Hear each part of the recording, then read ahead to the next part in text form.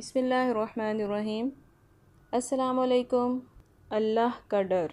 हज़रत उमर रज़ी अल्लाह तहों ने कभी कोई ख्वाहिश नहीं की। एक दिन मछली खाने को दिल चाहा तो अपने ग़ुलाम यरका से इजहार फरमाया। यरका, आप रज़ी अल्लाह तहों का बड़ा वफ़ादार ग़ुलाम था। एक दिन आप रज़ी अल्लाह तहों ने फरमाया, यरका, आज मछली खाने को दिल करता है। लेकिन मसला ये है कि आठ मील दूर जाना पड़ेगा दरिया के पास। मछली लेने और मछली लेके आठ मील वापस आना पड़ेगा। फिर आप रज़ी अल्लाह ने फरमाया, रहने दो, खाते ही नहीं। एक छोटी सी ख्वाहिश के लिए अपने आप को इतनी मुशक्क़त में डालना अच्छा नहीं लगता कि आठ मील जाना और आठ मील वापस आना सिर्फ़ मेरी मछली के लिए।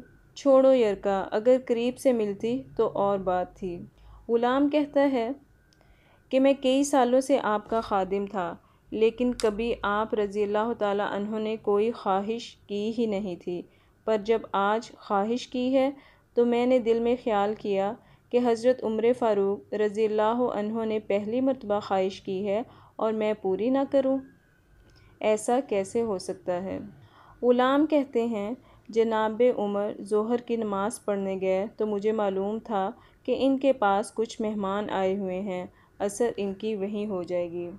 मैंने हज़रत उमर के पीछे नमाज़ पढ़ी और दो रकत सुन्नत नमाज़ पढ़ कर मैं घोड़े पर बैठा। अरबी नस्ल का घोड़ा था दौड़ा कर मैं दरिया पर पहुँच गया। अरबी नस्ल के घोड़े को आठ मील क्या कहते हैं?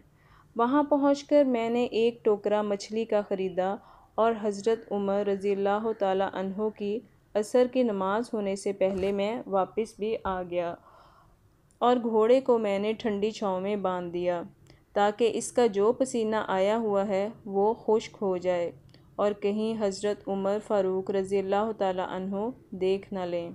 ग़ुलाम कहता है कि घोड़े का पसीना तो खुश्क हो गया, पर पसीने की वजह से गर्दो गुबार घोड़े पर जम गया था, जो वाज नज़र आ रहा था।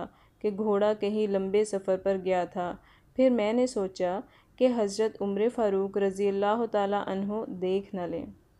मैंने जल्दी से घोड़े को कुएँ पर ले गया और इसे जल्दी से नहला दिया और इसे लाकर छाँव में बाँध दिया। फरमाते हैं, जब हज़रत उमर असर की नमाज़ पढ़कर आए, मैंने भी इनके पीछे नमाज़ पढ़ी थी। घर आए तो मैंने कहा, हजूर, अल्लाह ने आपकी ख्वाहिश पूरी कर दी है। मछली का बंदोबस्त हो गया है और बस थोड़ी देर में मछली पका के पेश करता हूँ।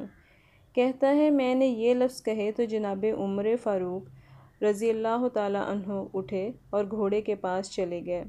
घोड़े की पुश्त पर हाथ फेरा, इसकी टांगों पे हाथ फेरा और फिर इसके कानों के पास गए और घोड़े का फिर एक कान उठाया और कहने लगे, यरका तूने सारा घोड़ा तो धो दिया, लेकिन कानों के पीछे से पसीना साफ़ करना तुझे याद ही नहीं रहा। और यहाँ तो पानी डालना भी भूल गया।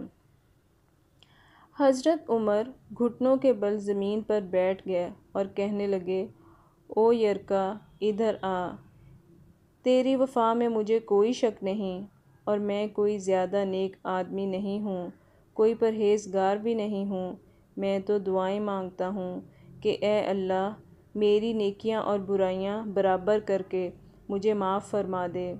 मैंने कोई ज़्यादा तकवा भी इख्तियार नहीं किया और बात को जारी रखते हुए फरमाने लगे, यरका, एक बात तो बताओ, अगर ये घोड़ा क़यामत के दिन अल्लाह की बारगाह में फ़रियाद करे कि, या अल्लाह, उमर ने मुझे अपनी एक ख्वाहिश पूरी करने के लिए सोलह मील का सफ़र तय कराया था ए अल्लाह मैं जानवर था, बेज़ुबान था।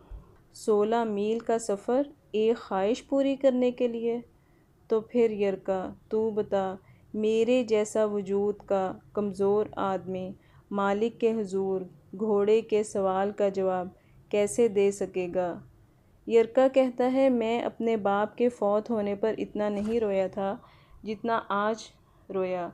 मैं तड़प उठा कि हजूर, ये वाली सोच। ग़ुलाम रोने लगा। हज़रत उम्र फ़ारूक रज़ी अल्लाह तहों कहने लगे, अब इस तरह कर, घोड़े को थोड़ा चारा इजाफ़ी डाल दे और ये जो मछली लेके आए हो, इसे मदीने के गरीब घरों में तकसीम कर दो और इन्हें ये मछली दे कर कहना कि तेरी बख्शिश की भी दुआ करें और उमर की माफ़ी की भी दुआ करें। ये थे हज़रत उमर और इनका अल्लाह से डर।